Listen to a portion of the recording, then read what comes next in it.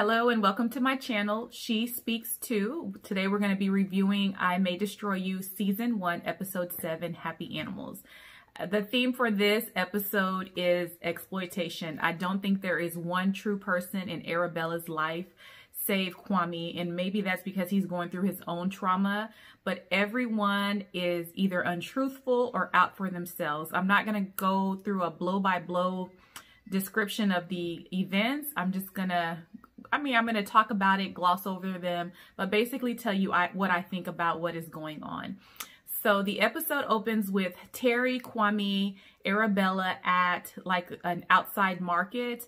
Um, Arabella is looking different. She's she's more trendy. She looks happy. She has new hair. You know, women, we have new hair. We feel good. Um, she's wearing a half shirt.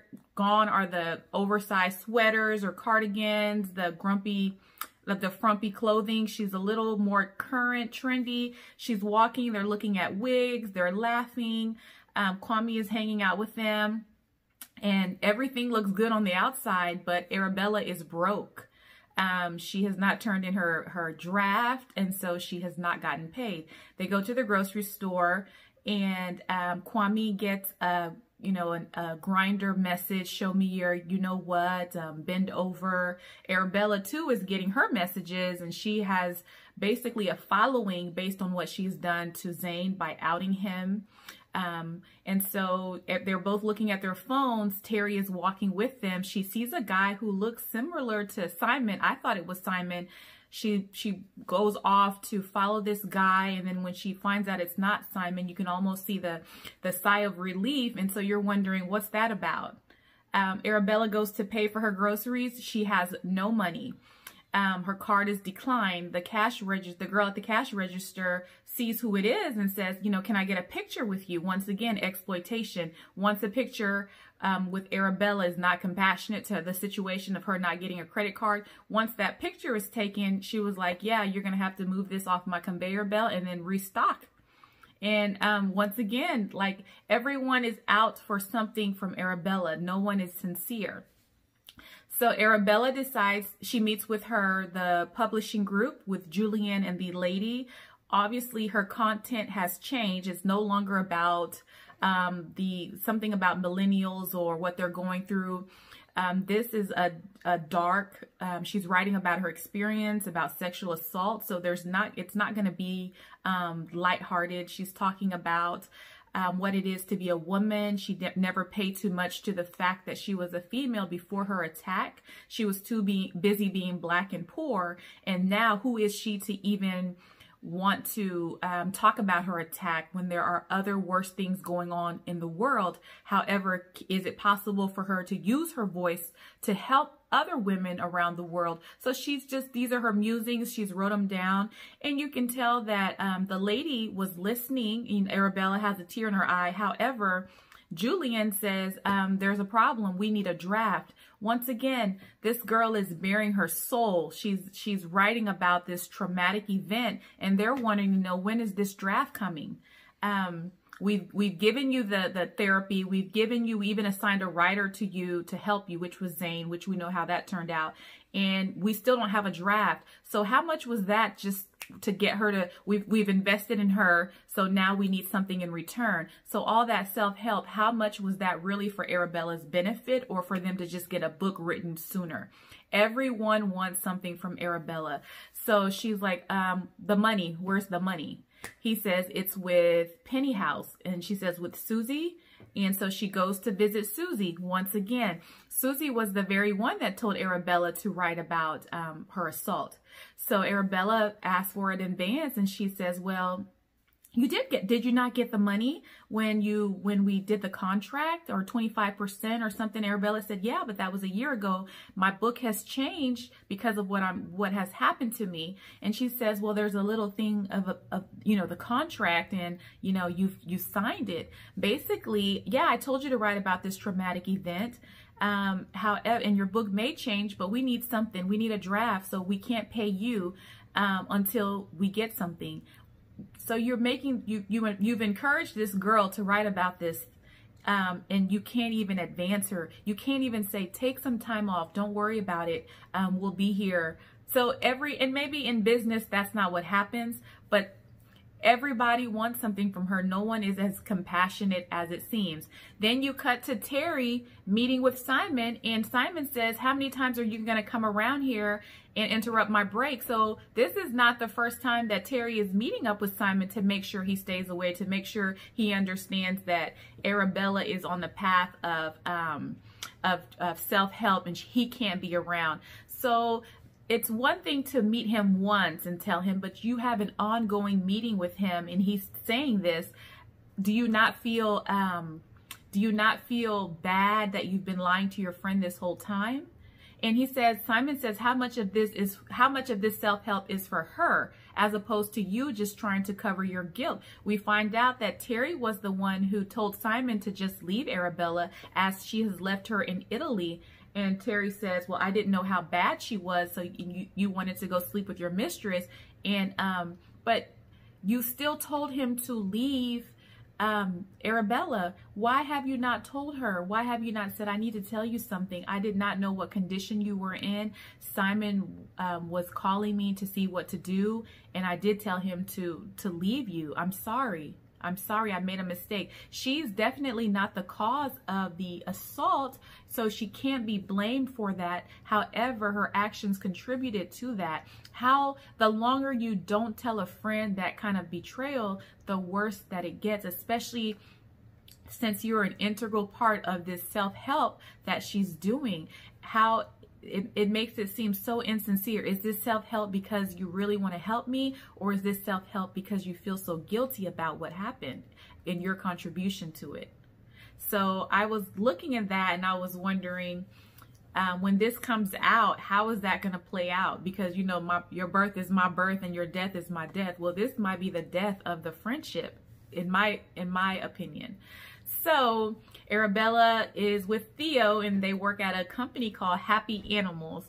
So this is a vegan company and apparently Theo is money strapped also and she and she brings in Arabella unbeknownst to Arabella to be a spokesperson because this company needs more minorities to join in. They even have a graph that shows consumption from minorities on um, beef, um, plants, and Theo is looking at that graph they get um, Arabella, hey, do you want to take a couple of pictures? It goes from pictures to straight up exploitation. Once again, exploited by Theo. Theo needed knew she needed to get a minority. She knew Arabella was strapped for money. Then this company, oh, it starts off, can you take a couple of pictures? Can you put this t-shirt on? Um, can you hold this bag? Can you say a couple of things?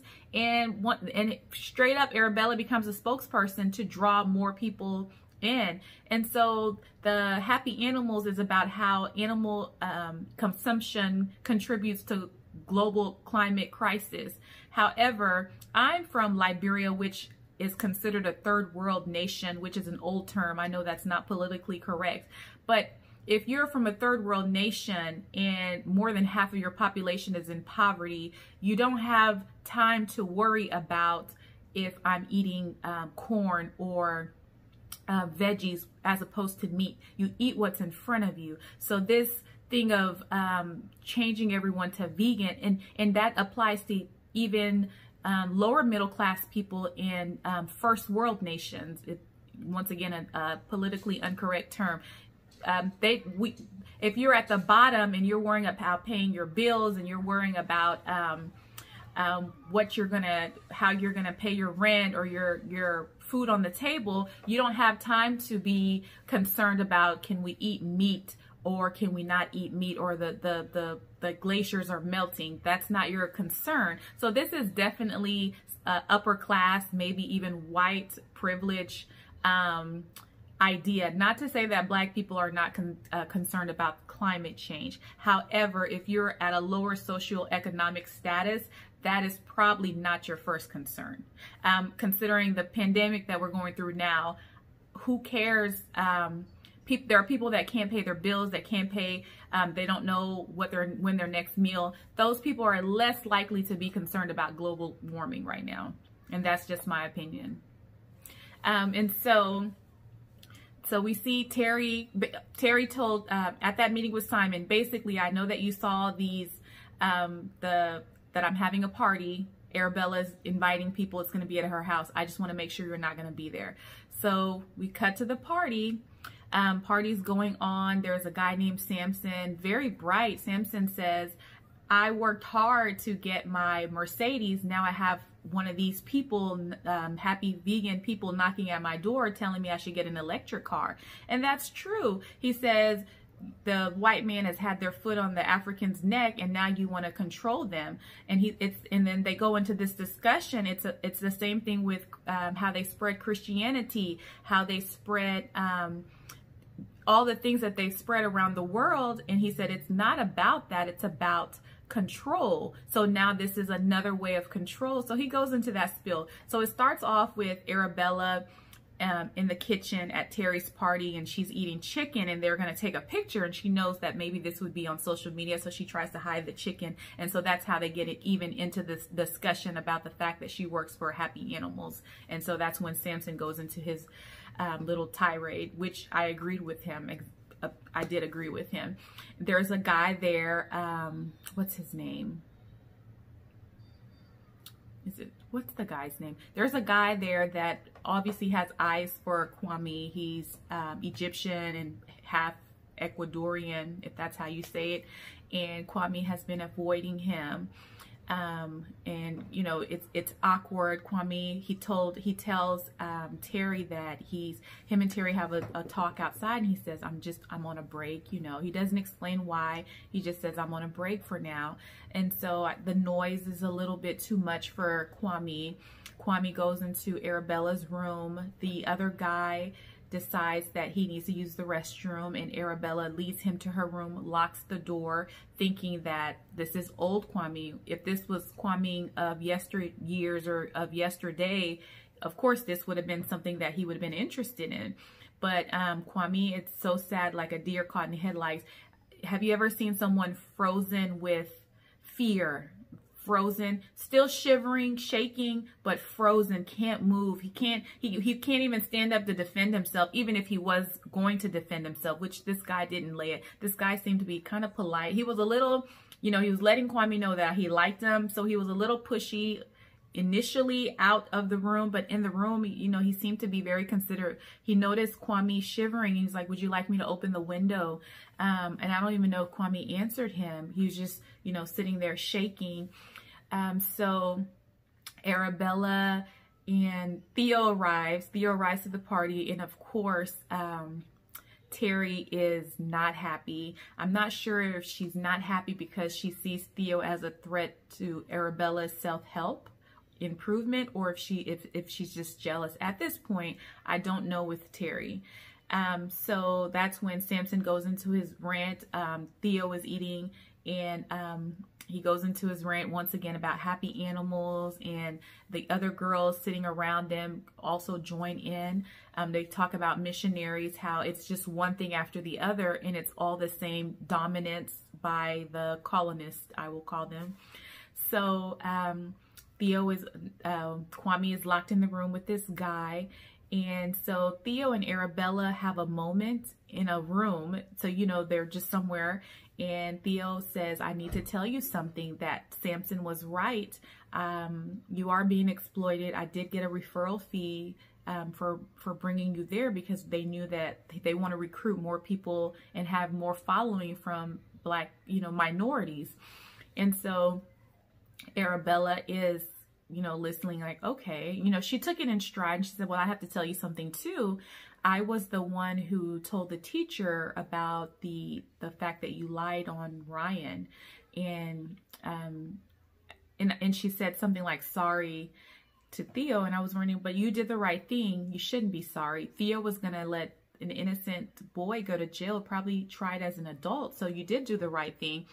And so they just kind of talk a little bit and the funny thing was the whole time they were talking, they weren't alone. They were in Arabella's roommate's room and he had headphones on. So I don't know if this is what he does when they throw parties. Maybe he, you know, when they throw parties, maybe the, the black parties, the African parties, maybe he's like, here they come again. He just puts his little headphones on. He's in bed and they're like, thank you for letting us use your room or something like that. The whole time you were thinking that these two women are alone in a secluded place, just kind of having a heart to heart. So that was very funny.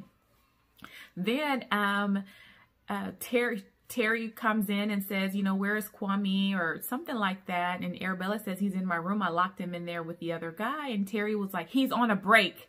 He's on a break. And this is the first time that I've seen Terry think about someone other than herself. She opens the door, basically rescues Kwame. You can tell the other guy is just as uncomfortable as Kwame was, maybe because he saw the state that Kwame was in. He ran out of the room and Terry and Kwame are in the tub sitting there and um, Kwame has told Terry what happened and she was like, wow, I didn't know.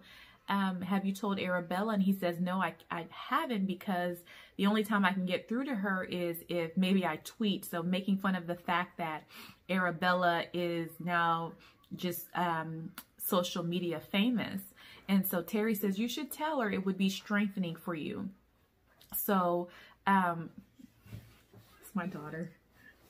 And so um, that was a that was a moment where we see that Terry can be a friend to someone other than herself. Um, and Theo, uh, Arabella tells Theo that we are, what are we going to do about tomorrow? Okay, one thing I can say about um, Arabella being famous, remember the girl in the grocery store who took a picture, said, can I take a picture of you? That girl later had posted that. We see when Arabella was going to Susie Henny's office, that girl had posted that and said, her and posted the picture said her even her card was declined. So there is a drawback on being insta famous. So anyway, Theo says, "What are we going to do about tomorrow?" And Arabella says, "I'll think about I'll think of something." So Arabella goes in the next day. Um, she's filming. She um, she's filming and she says, you know, global warming and she pulls out a bucket of chicken and takes a bite and you can hear someone say, what the? And it's already hit social media and the headline was like black girl or African girl eats chicken on vegan live. And so she did find a way to get back with them, back at them. So um, that was my review for episode seven. Um, this episode, I guess, was all about exploitation and also the bombshell was that Terry was the one who told Simon, who told Simon to just leave Arabella. So I have a feeling that Simon probably was not involved. That doesn't excuse his cousin um, or the guy that Arabella is seeing in the flashback.